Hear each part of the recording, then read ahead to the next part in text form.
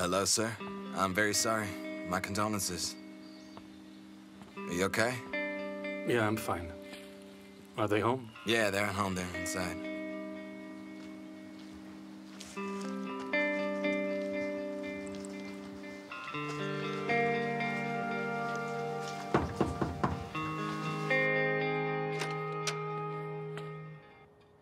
Oh, welcome, Mr. Mason. Come on in.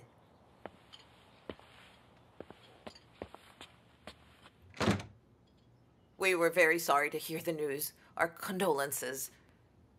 May God grant patience to you and your dear mother. Are Mrs. Layla and the family inside? Yes, come in, please. Yes. You're tricking me. You are really my aunt. No, sweetie, I'm your auntie's sister. Then why are you the same? Because she's my twin. What does twin mean? Mm-hmm.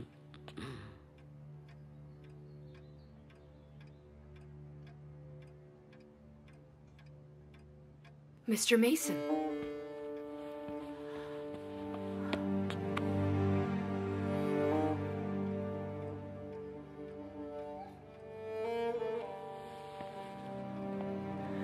I have been asking about you, Mr. Mason.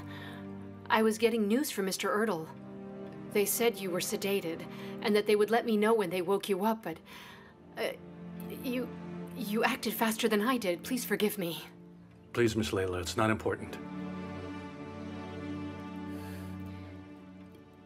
I really don't know how to say this. God, I'm really sorry. My condolences. My condolences. Thank you. I hope you feel better. I heard your life was in danger. It was. But you're doing better now, right? When did they finally release you? Actually, they didn't. I escaped. You escaped? Are you serious?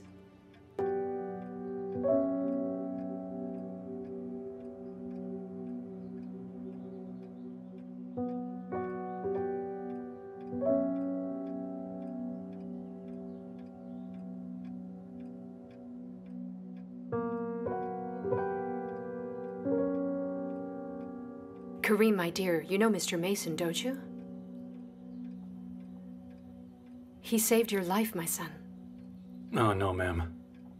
I didn't do anything. No, Mr. Mason, we are truly grateful.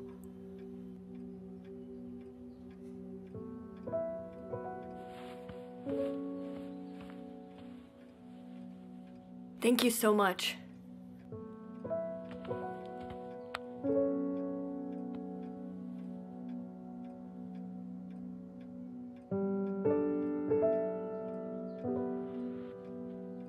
I hope you feel better soon.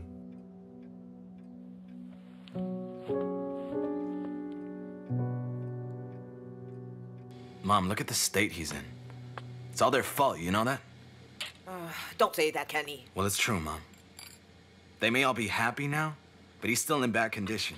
Don't you remember the first day he came to the house, Mom? Well, look at him now. He's a complete wreck, man. It's not easy, son. It was his sister. May God keep everyone from pain like this.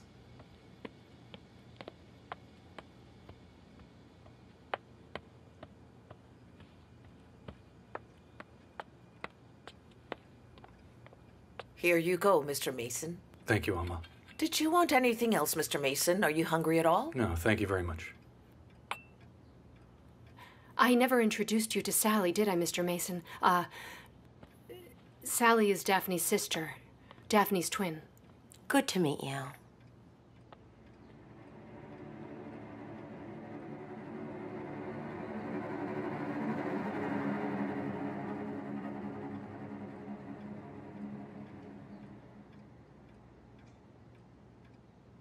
Mrs. Layla, I need to talk to you about a matter if you're free.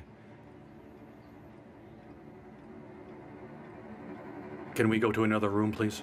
Uh, of course, of course, right this way.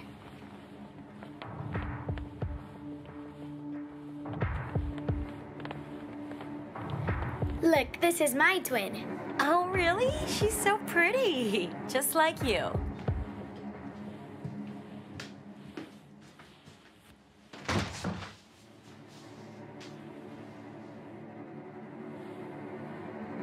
What's up?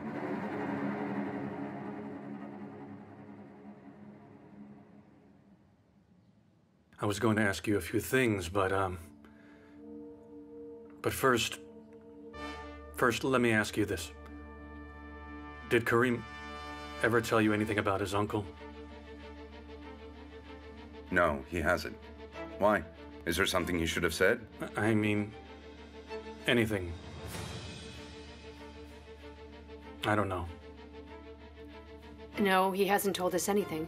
He hasn't spoken very much since he got back. Has he ever been left alone with his uncle?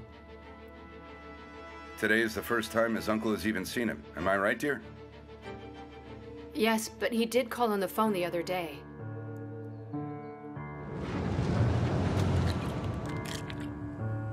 That's enough flour. And sugar? Where's the cinnamon, Alma? I'll get it. Oh, Oh, Miss Layla, I wish you wouldn't bother. I will take care of these it. These are Kareem's favorite cookies. Of course I want to make Oh, them. Oh, sweetie, your brother couldn't say cinnamon when he was small, so he used to say, I want some cinnamon cookies. Praise our God in heaven because he has gotten back home safely. Yes, Alma, that's right, thank God. I want These are for your brother. We'll make you some chocolate. Hello? Yes, Mr. Michael? Uh, Mrs. Layla is a little busy, but let me just ask her. Uh, uh, uh, Kareem is still asleep, but let me see if he has woken up yet, sir.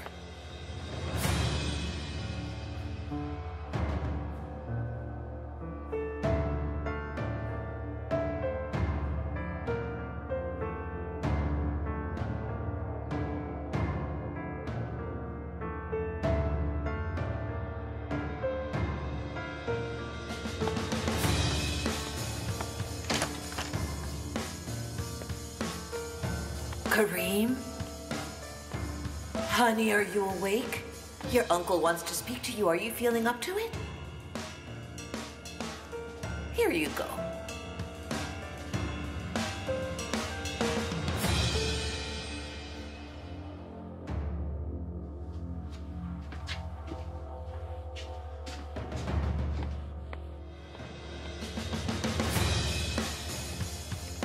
Hello? Uncle? Hello. Welcome home. How are you feeling? I'm fine.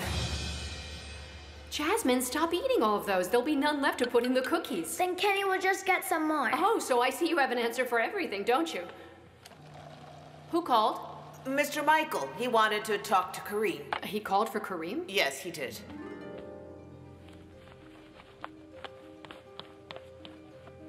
Honey, you finished all the chocolate, my girl. Now what will we put in the cookies? Crimson, uh, I will come and see you as soon as possible. We really need to sit and have a chat man to man, you know? uh, look, I need to ask a favor. Um, don't say anything to anyone until I talk to you, okay? I'll tell you everything soon enough. Okay, Kareem? Talk to you later. Okay then. Kareem, dear? What did your uncle want? Nothing. What do you mean, nothing? I mean, he asked if I was okay. He said he was glad. He wants to meet up as soon as possible. Ah. Kareem?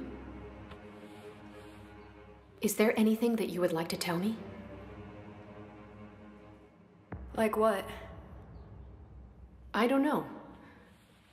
Something about your uncle, perhaps? No, what could I tell you? Look, I'm going to tell you something.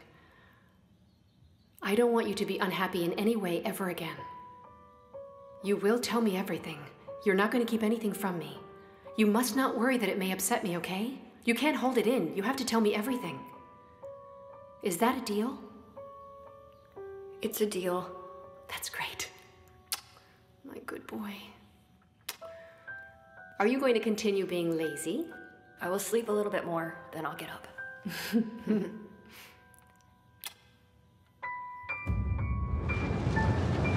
Look at me, Mr. Mason. Kareem would tell me if anything were happening. I'm sure of it. Uh, Is there something that you know? I don't exactly know it for sure. What is that supposed to mean? It means that we don't need to talk about it right now. But when Kareem finally pulls himself together, I'm going to need to talk to him. There may be a few things that he wants to tell us. All right. Okay.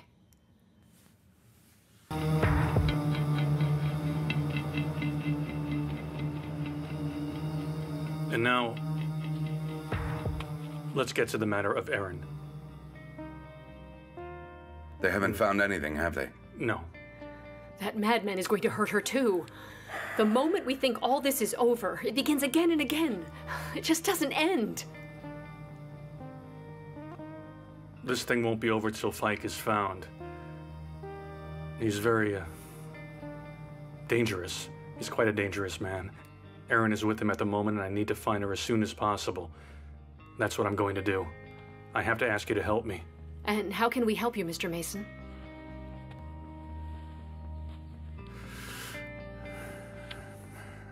First of all, I want you to tell me everything you know about Erin and Aldo. Whatever you know. I only saw him that one time. And I told Mr. Ertl because I recognized the picture immediately. You saw him? When was that? Uh, it was a few years ago, I think. I was in a cafe and he approached me. He said he wanted to talk about Erin. We talked about Erin for a little bit. He told me he used to be her fiance. He really convinced me that he loved her. I believed him. Because, you know, his eyes and the way he carried himself, he was like a man in love. I never thought he would turn out to be such a bad person at all. Okay. Well, did Erin love that guy? I don't think so.